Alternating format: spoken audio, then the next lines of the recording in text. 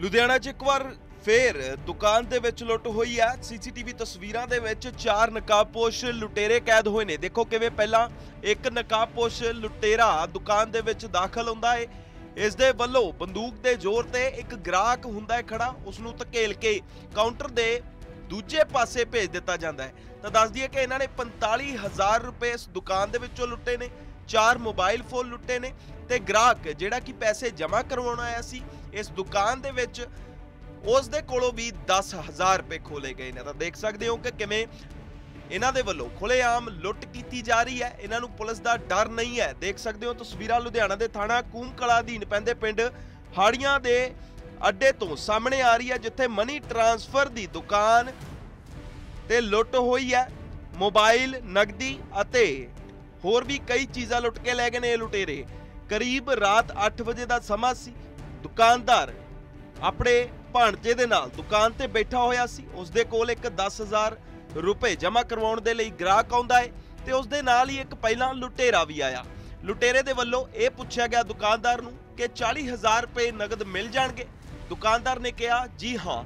ਦੁਕਾਨਦਾਰ ਦੁਕਾਨਦਾਰ ਇਸ ਗੱਲ ਤੋਂ ਅਣਜਾਣ ਸੀ ਕਿ ਉਹ ਸ਼ਖਸ ਲੁਟੇਰਾ ਹੈ ਤੇ ਉਸ ਦੇ ਸਾਥੀ ਦੁਕਾਨ ਦੇ ਬਾਹਰ ਉਸ ਦੀ ਵੇਟ ਕਰ ਰਹੇ ਨੇ ਤੇ ਜਿਵੇਂ ਹੀ ਉਹ ਲੁਟੇਰਾ ਬਾਹਰ ਜਾਂਦਾ ਹੈ ਆਪਣੇ ਸਾਥੀਆਂ ਨੂੰ ਹਾਕ ਮਾਰ ਕੇ ਬੁਲਾ ਲੈਂਦਾ ਹੈ ਤੇ ਨਾਲ ਹੀ ਇਹ ਚਾਰੋਂ ਲੁਟੇਰੇ ਦੁਕਾਨ ਦੇ ਅੰਦਰ ਦਾਖਲ ਹੋ ਜਾਂਦੇ ਨੇ ਇਹਨਾਂ ਦੇ ਵਿੱਚੋਂ ਤਿੰਨ ਲੁੱਟ ਕਰਨ ਲੱਗ ਜਾਂਦੇ ਨੇ ਤਾਂ ਇੱਕ ਜਿਹੜਾ ਲੁਟੇਰਾ ਹੈ ਉਹ ਦੁਕਾਨ ਦੇ ਬਾਹਰ ਖੜ ਕੇ ਨਿਗਰਾਨੀ ਰੱਖਦਾ ਹੈ ਆਓ ਦੁਕਾਨਦਾਰ ਤੋਂ ਹੀ ਪੁੱਛਦੇ ਆ ਕਿ ਉਸ ਦੀ ਦੁਕਾਨ ਦੇ ਅੰਦਰੋਂ ਕੀ ਕੁਝ ਲੁੱਟਿਆ ਗਿਆ दुकान शाम को थे हम थे मेरा भांजा था एक ग्राहक था जो कि एक बाइक आया चार आदमी आकर गन गन दिखाकर बाकी मेरा पैंतालीस हज़ार कैश चार मोबाइल एक ग्राहक का दस हज़ार रुपया और बैग में पूरा कागज़ पत्र जितना था मेरा सारा लेके चला गया लोग।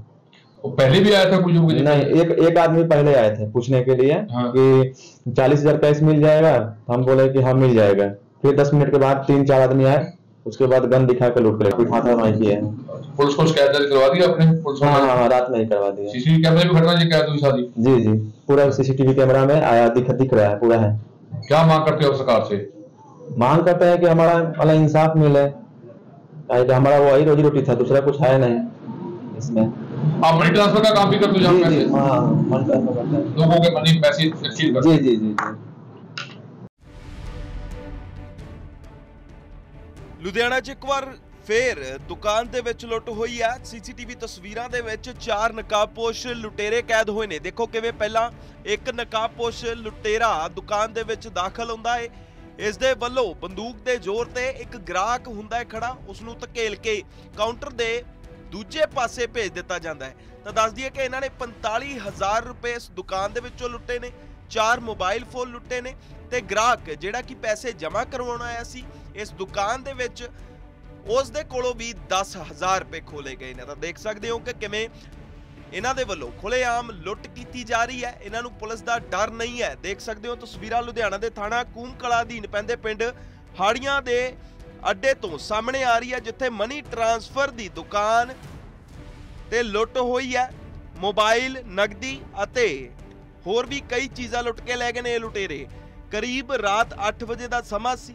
ਦੁਕਾਨਦਾਰ ਆਪਣੇ ਭਾਣਜੇ ਦੇ ਨਾਲ ਦੁਕਾਨ ਤੇ ਬੈਠਾ ਹੋਇਆ ਸੀ। ਉਸ ਦੇ ਕੋਲ ਇੱਕ 10000 ਰੁਪਏ ਜਮ੍ਹਾਂ ਕਰਵਾਉਣ ਦੇ ਲਈ ਗ੍ਰਾਹਕ ਆਉਂਦਾ ਹੈ ਤੇ ਉਸ ਦੇ ਨਾਲ ਹੀ ਇੱਕ ਪਹਿਲਾਂ ਲੁਟੇਰਾ ਵੀ ਆਇਆ। ਲੁਟੇਰੇ ਦੇ ਵੱਲੋਂ ਇਹ ਪੁੱਛਿਆ ਗਿਆ ਦੁਕਾਨਦਾਰ ਨੂੰ ਕਿ 40000 ਰੁਪਏ ਨਗਦ ਮਿਲ ਜਾਣਗੇ। ਦੁਕਾਨਦਾਰ ਨੇ ਕਿਹਾ, ਜੀ ਹਾਂ।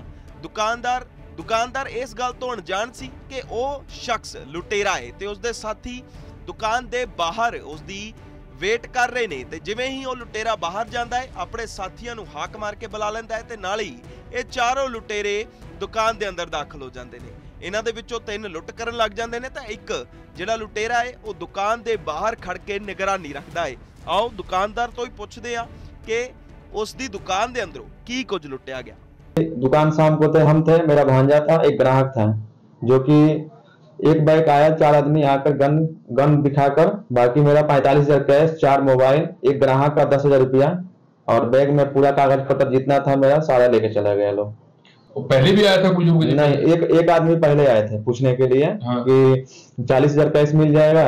हम बोले कि हाँ मिल जाएगा। फिर दस मिनट के बाद तीन चार आदमी आए उसके बाद गन दिखा के लूट कर कुछ हाथा नहीं किया पुलिस को शिकायत दर्ज करवा दी आपने? पुलिस हाँ, हाँ हाँ रात में ही करवा दिया सीसीटीवी कैमरे में घटना शिकायत हुई सारी जी जी। पूरा सीसीटीवी कैमरा में आया दिख दिख रहा है पूरा है। क्या मांग करते हो सरकार से? मांग करते हैं कि हमारा अलग इंसाफ मिले। कायदा हमारा वही रोजी रोटी था दूसरा कुछ है नहीं इसमें आप मनी ट्रांसफर का काम भी करते हो लोगों के मनी पैसे एक्सचेंज करते जी जी जी